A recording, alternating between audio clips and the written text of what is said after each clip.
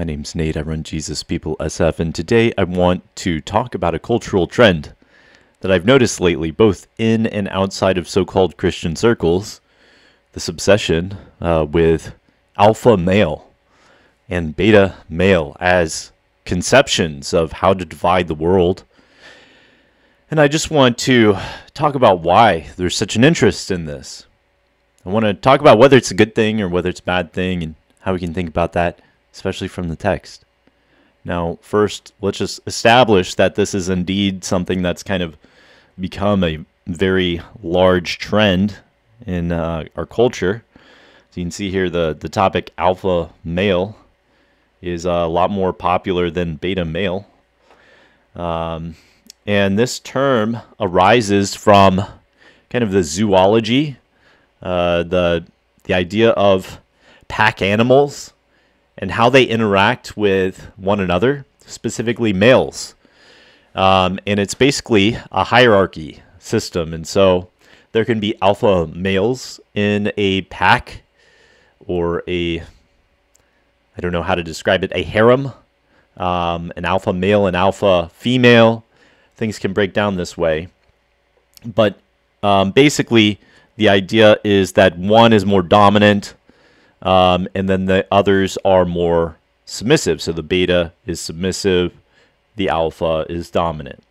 And the dominance uh, typically involves ritualized displays of aggression or direct physical violence. It's so interesting to me that um, this obsession with alpha male, beta male as some kind of paradigm for our society has popped up. Now, there is a big problem. I will I will confess that there's a huge problem with um, man as a you know gender being too effeminate in our modern era because of I don't know. We'll just call it the hippies' fault um, in this regard. The sexual revolution in the throwing off of all historic standards of how one should behave in the world since the 1960s, really. Um, all this stuff has led to kind of a breaking down of historic gender roles in society that were really healthy uh, for the most part. Um, and so there's there's a desire for a return. The red pill movement wants people to quote level up who are men um, and get buff and work on yourself and work on your pickup skills and all this stuff. But it's so interesting. It's very beastly. This dominant stuff, this alpha stuff. Now, I'm not against a man being super dominant and super masculine. Like that's that's the way God made men. God made men to be strong. And of course, God wants hierarchies. That's what a government is. A government is a hierarchy of power. Some people rise to the top and lead. This is for the good of mankind. This is for good in general. Uh, our particular government in the United States has gotten too big. It's, a little bit of a beast itself. It is an alpha male. It dominates its own people. But um, I would say generally God wants hierarchies. He wants someone to be at the top. But the fact that this is all focused on dominance, it, it's really interesting. And this is a Wikipedia article talking about um, alpha and beta as you know terms for humans. But let me just let me just talk about the uselessness of being an alpha as far as you know an achievement, an achievement. So, um, for instance, here's here's a bunch of people in the Bible who had what the world would consider alpha status. Here we've got Saul. And what is Saul? He's a dude that's taller than everybody else. What is what do the women want? They want a six foot tall guy who makes six figures um, and he's got a large member, right? Larger than that number. So um, it's so funny. And, and of course, you know, we could say it this way How did Saul end his life? He ended with God deserting him, the Spirit of God that was given to him for the role of being king was deserting him, and he died in battle when he could have simply given the throne to the rightful uh, choice of God, but he tried to kill the rightful choice of God. Oh, how alpha to chase God's man around a mountain to kill him just because you're jelly. Um, here we have um, a dude who's really rich. Here's Job. Um, Job is so rich. He's the greatest man of the East. And look at how quickly that deserted him when it was God's time for that to desert him. Now, of course, God did give it back to him. But just having a lot of stuff, just being really tall and, you know, the ladies loving you or what have you. And look, here's here's a dude who's really pretty. This is Absalom. Absalom was uh, there was none in Israel so praised as Absalom for his beauty. Oh, amazing. What an alpha. His beauty is so great. He usurped David, but it was part of God's judgment against David for stealing Uriah's wife Bathsheba. Um, and so it wasn't much of an achievement for one, Absalom to be pretty. It was just kind of given to him. And number two, he didn't use his gifts and abilities very well. And, you know, even a guy who is relatively esteemed like David, and you think, oh man, David was the greatest king of Israel. He was, he, everybody's compared to David, all the future kings after him, both the northern tribes of Israel and the north and the southern tribes of Judah in the south. All those kings were compared to David. But look, this is God's description of David. And when God is taking David to task for his behavior towards uh, Uriah and Bathsheba and toward God himself, God says this Now therefore, so shalt thou say unto my servant David, this is God talking to Nathan, who has to deliver this message to David. And he says, Thus says Yahweh Sabaoth, or the Lord of hosts, I took thee from the sheepcote, from following the sheep, to be ruler over my people Israel. In other words, dude, you were just a shepherd. And let me just put it this way in Israel in that time, the shepherds were among the lower class. Okay, and you, you can see this in David's behavior with his brothers. His brothers deride him all the time until he's, you know, actually got a position. His brothers deride him all the time. And when he, David goes up to the battle because of uh, the the battle with uh, the Philistines and Goliath is there. David's brothers are in the army, and David is just delivering cheese to the army. And his brothers mock David. He's just supposed to be watching the sheep, in other words. And so God is just telling David, "Look, I'm the one who made you this alpha. I'm the one who gave you." David ha- Saul has killed his thousands. David has killed his ten thousands. You see, being an alpha is not all that and I want to talk about the the most chief alpha in human history. Um, this gentleman named Nebuchadnezzar. Nebuchadnezzar was, as God Himself describes, so we would call this an official position of God. Nebuchadnezzar was ruler of the earth. Okay, and here Nebuchadnezzar is giving getting a dream, and in this dream, uh, it says, um, "The king saw a watcher and the Holy One coming down from heaven and saying." Hew the tree down, this tree represents Nebuchadnezzar, and destroy it, yet leave the stump of the roots thereof in the earth, even with a band of iron and brass, and the tender grass of the field, and let it be wet with the dew of heaven. Let his portion be with the beasts of the field, till seven times pass over him. This is the interpretation, O king, and this is the decree from the Most High. This is Daniel giving the interpretation. They shall drive thee from men, and thy dwelling shall be with the beasts of the field. And they shall make thee to eat grass as the oxen. They shall wet thee with the dew of heaven, and seven times shall pass over thee. And so here is Daniel's admonition. He says, um, Break off your sins and your iniquities, and show mercy to the poor. That's basically what God expected from this pagan king. But look, here's Nebuchadnezzar the Alpha. And this came came upon King Nebuchadnezzar, uh, Daniel 4:29. At the end of twelve months, he walked in the palace of the kingdom of Babylon. The king spake and said, "Is not this great Babylon that I have built for the house of the kingdom by the might of my power, and for the honor of my majesty?" While the word was still in the king's mouth, there fell a, word, a voice from heaven, saying, O King Nebuchadnezzar, to thee it is spoken, the kingdom is departed from thee and that's what it ultimately comes down to. I mean, we could say it this way. Um, the tallest people on earth that have all the girls, uh, the richest people on earth that have all the goods. They're the greatest men of the East. Um, the uh, most beautiful people on earth, like Absalom, the people who are given rulership, their presidents, prime ministers, dictators.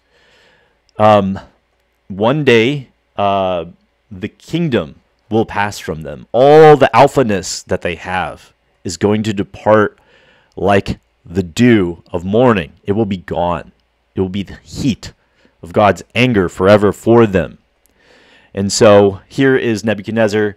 He gets this voice from heaven as he's boasting about his greatness, his alphaness. Oh, how great, how dominant he is over the nations. And it, he, it says here, They shall drive thee from men, thy dwelling shall be the beasts of the field. And that same hour, verse 33, the thing was fulfilled upon Nebuchadnezzar. He was driven from men and ate grass like an oxen. You know, oxen are, are pretty alpha. You don't want to walk up on an ox um, from like its periphery because it may charge against you. Oh, how alpha, right? This great king eats grass like an alpha oxen here, and his body is wet.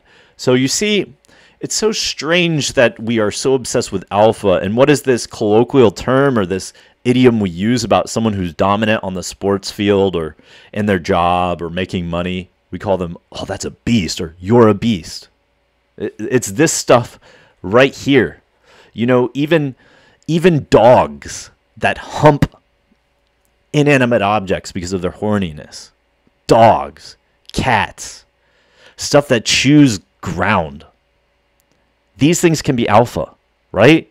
And so this is the great thing we want to compare ourselves to. We want to compare ourselves to the beasts of the earth and call that great. In fact, one of the spiritual metaphors for Nebuchadnezzar and the whole kingdom of Babylon is a beast.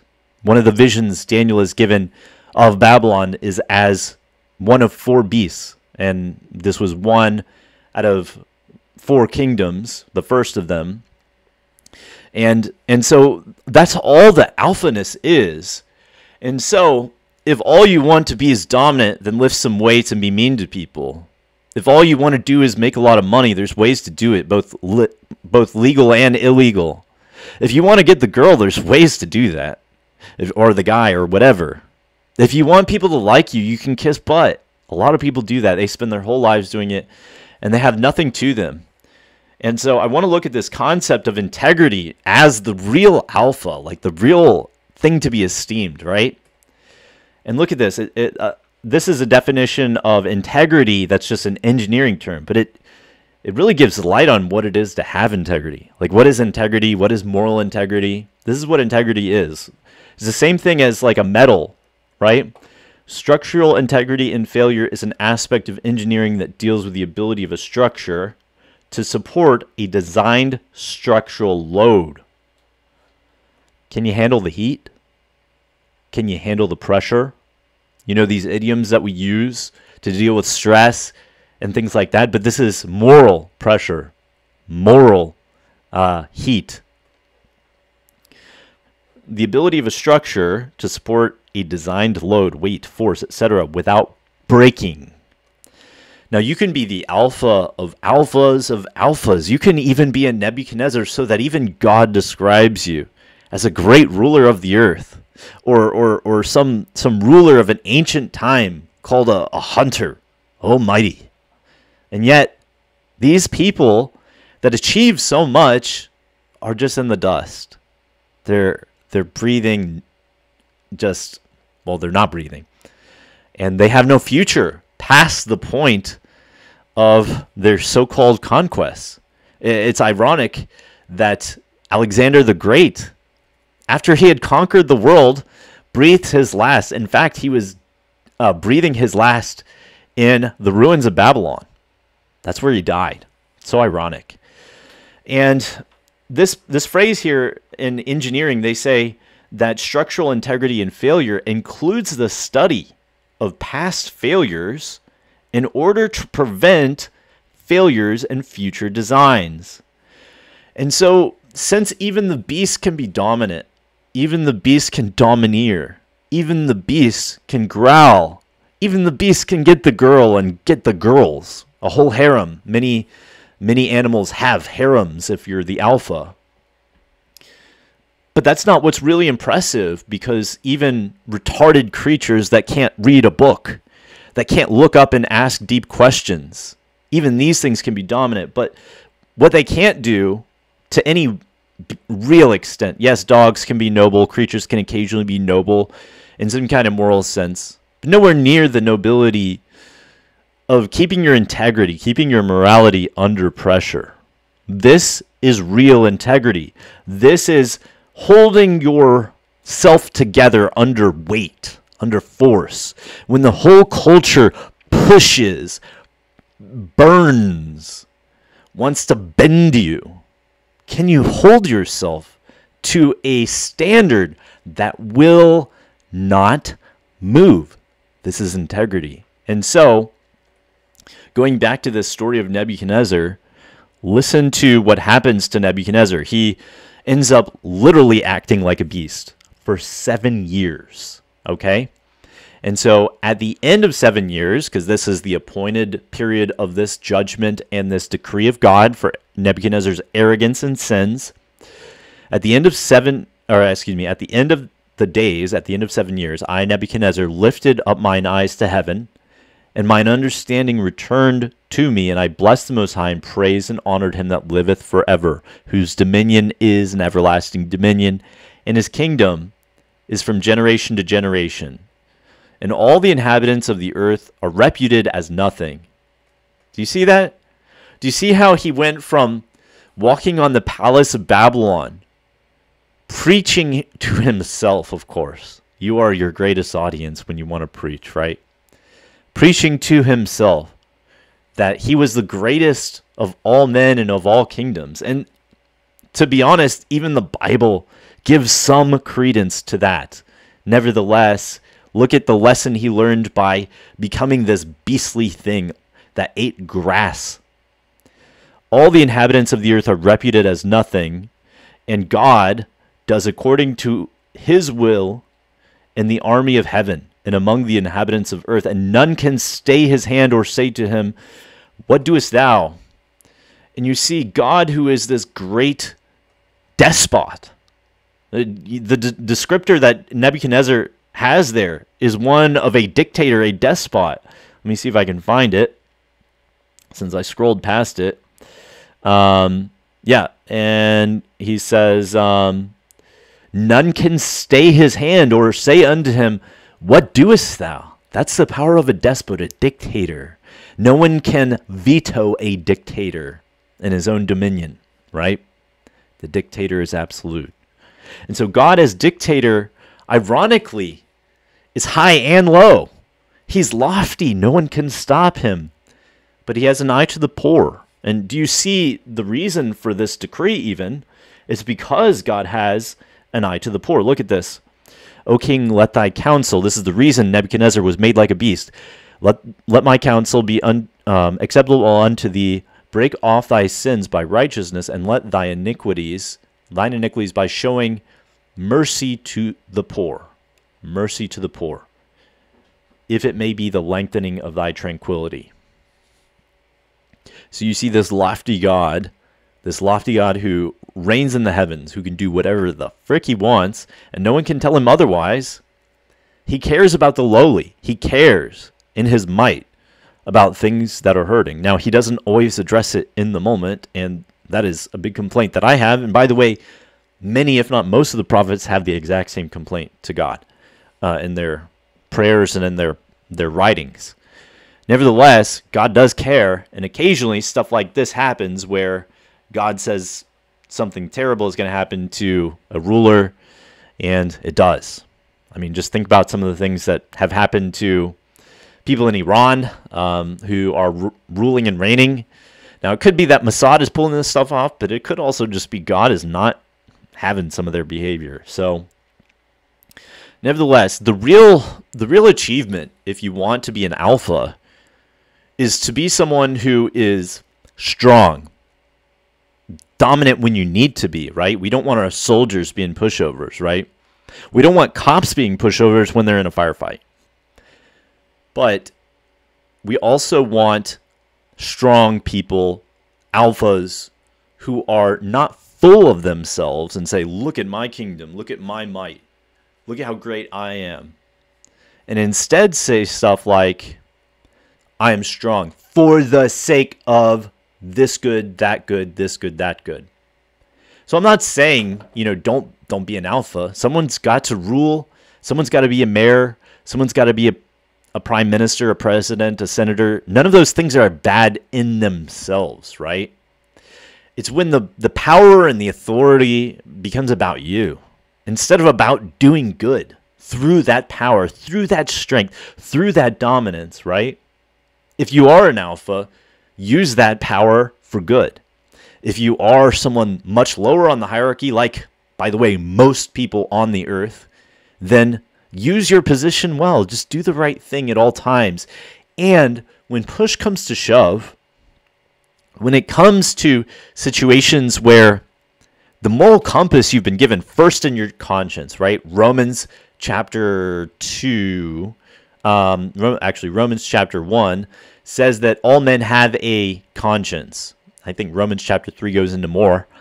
But all men have a conscience. And he says to people who have the special revelation of God's word in chapter 2 that a lot of times people who have the decrees of God, the laws of God, they just don't live by it. And so people who live by their conscience, who at least obey the conscience that God has given them, the laws that they do have among the pagans, God is at least a little honored by that. And the people who have God's word but don't live by it are shamed because they have the higher decrees, the higher commands, but they don't live by it, right? Most of the time.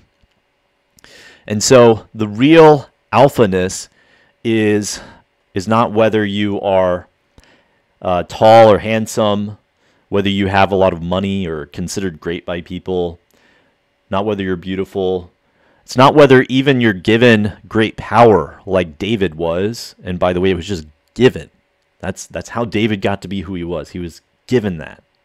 And it's not even whether you rule the whole earth. It, it's it's trifling. It's it's meaningless because ultimately God rules the whole earth and he does whatever he wants. So, given the fact that we're all some subset of something God is doing, you should do what is right. You should be the person that God, dare I say, even if you're a pagan, even if you're out in the world, even if you're someone that has nothing to do with the Christian way or even the Jewish way, you should at least obey your conscience. You should be an alpha in that regard. And you should be someone that both has integrity and holds your yourself together in the midst of the heat of peer pressure and culture pressure and all these things, and someone who studies the failures of others um, so that you don't make the same mistakes. And, you know, just something I, I that came to mind there's a director that I esteem somewhat. Some of his movies are hard to watch because of moral content. But when I was uh, a bigger movie buff than I am now, I would watch Stanley Kubrick movies. And Stanley Kubrick is one of the greatest directors of all time. No contest. Almost everyone will tell you the same. And Stanley Kubrick hated to watch really good movies because he felt like, you know, he just didn't learn anything. It, it was just too great. He, he couldn't actually learn lessons, right? Oftentimes, when we study the greats, we, we just feel inferior. We feel like we can't measure up. But Stanley Kubrick said he loved to watch bad movies because he he could learn things. He could say, "Oh man, they should have done this. They should have done that." And the same thing with people's moral failures. You you can look at the Bible. You can even look at people around you. Study the people around you. Try to figure out what they did wrong. Try to avoid what they did. And the old phrase, you know, insanity is just doing the same thing over and over again and expecting a different result. Everyone else has done many more things than you can do. So study their lives and make sure you don't repeat the same things that they're doing wrong. All right, so that's that's my take on um, that's my position on alpha males, beta males. I'm not necessarily against it. I just think it's so stupid to to want to be a beast, to want to be something that chews grass and is just powerful and dominant, and that's it. Like really, we're so much better than that. We're so much greater than just domineering having some kind of harem of people to sleep with. We're so much better than that. So live better than that because you were designed for it, period. Um, thanks for your time. Um, please like and subscribe if this was helpful. This will get the message out of this particular video without you having to do anything else beyond that. And uh, if you felt this was an interesting subject, leave a comment. If you didn't like this, leave your thoughts to yourself. I don't I don't want your comment.